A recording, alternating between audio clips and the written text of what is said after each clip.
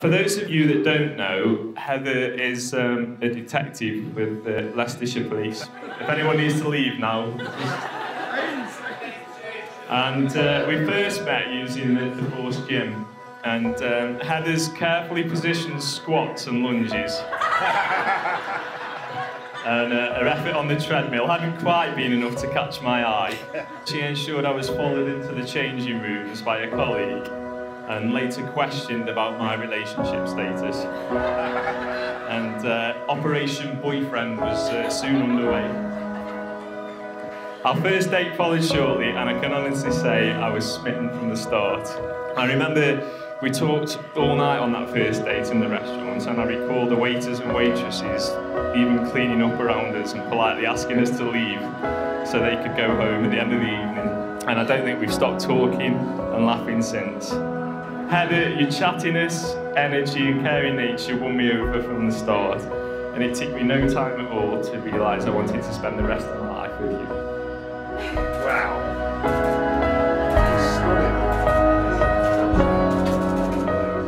Heather will actually say that I'm indecisive, but one decision that I had no doubt about making was asking Heather to marry me on the 7th of December 2015 next to the Alice in Wonderland statue in Central Park, New York. You took my breath away when you arrived earlier. You looked absolutely stunning, and I feel so lucky to be able to call you my wife. I see firsthand just how hard you work and how much you sacrifice. Your weekends are few, nights out infrequent, and your ability to commit to any kind of impulsive social life near on impossible. Yet you still come through the door at the end of a shift more often than not with a smile for me. The sacrifice and heartache your role can cause was evident to me early on in our relationship, but the qualities you showed through that time just made me love you even more. And last month at an awards event, Heather received recognition for that particular case when she received accommodation from the Chief Constable of Leicestershire Police. Myself and Jan were in attendance on that day, just want to say how incredibly proud I was of you. You're my hero, Heather.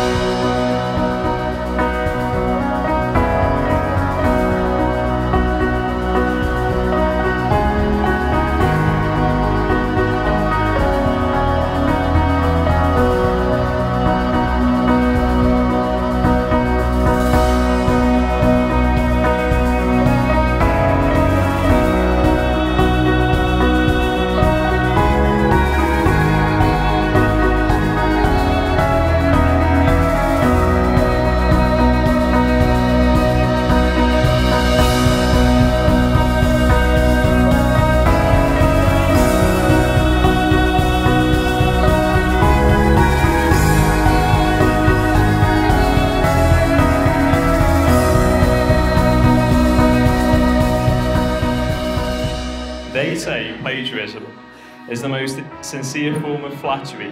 So on that note, I'm going to end reciting a quote I received from Heather in a message not long after our engagement.